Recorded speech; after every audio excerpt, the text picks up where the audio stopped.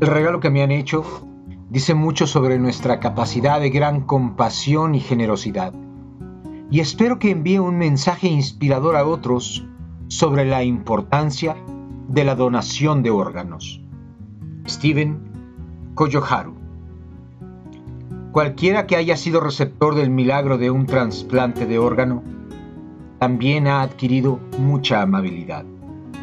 Se requiere una profunda reflexión, generosidad y toma de decisiones para cualquiera que esté considerando donar.